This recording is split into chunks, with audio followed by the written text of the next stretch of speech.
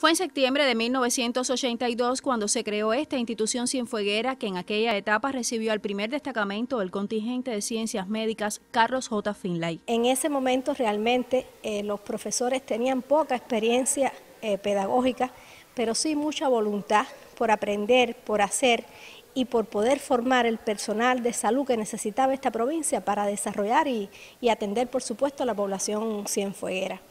Eso generó que entonces abriera como facultad en ese año 1982 y no es hasta el año 2009 donde se convierte en universidad. A 40 años de ese acontecimiento, este claustro festejó el momento fundacional con la presencia de la miembro del secretariado del Comité Central del Partido y su primera secretaria en la provincia, Maride Fernández López, la vicegobernadora Yolexis Rodríguez Armada, entre otros dirigentes. Al centro le prestigia un elevado nivel científico del profesorado, lo que se revierte en la calidad formativa en las diferentes carreras. Procesos acreditativos también distinguen a esta Universidad de las Ciencias Médicas, que según la doctora Areli Falcón Hernández, de la institución, un 70% de los programas de posgrado han sido evaluados de excelencia. En el año 2009 se acredita por primera vez la carrera de estomatología, porque para poder llegar a institución acreditada, por supuesto que tiene que estar acreditada primero las carreras. Carrera que después se reacredita y obtiene la categoría de excelencia. En el año 2012 la carrera de medicina y ya en el 2017 se reacredita medicina como eh, carrera eh, eh, certificada. Eso permitió que en el año 2014 nuestra universidad fuera acreditada como eh, universidad calificada. Y ya ahora acabamos de pasar por el proceso de reacreditación institucional.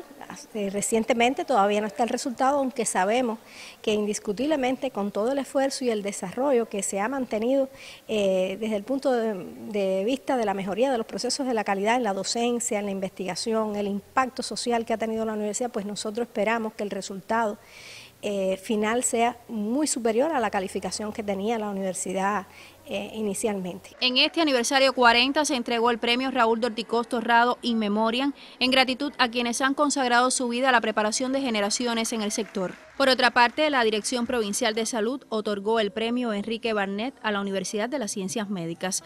En la celebración también fueron agasajados varios trabajadores con la distinción honorífica Piti Fajardo por su permanencia durante 20 y 25 años en el gremio. En tanto, el Secretariado Nacional de la CTC reconoció con el sello 80 aniversario al doctor Pedro Hernández Sánchez, así como la máxima autoridad política le hizo entrega de la medalla conmemorativa por el aniversario 65 del 5 de septiembre de igual manera, la Federación Estudiantil Universitaria recibió el sello Mérito al Humanismo, Sensibilidad y Solidaridad por sus aportes durante la etapa de la pandemia. A lo largo de, la historia, la FEO ha jugado su papel muy bien marcado dentro de la vida universitaria y esta es la época nuestra, es la época donde nos toca crecernos, donde nos toca jugar a nosotros nuestro papel y acompañar a nuestra institución, a nuestra universidad este año y los que vengan eh, en pos de una mejor educación universitaria.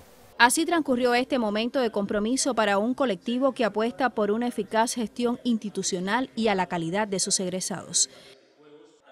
Mayelín del Sol, Notisur.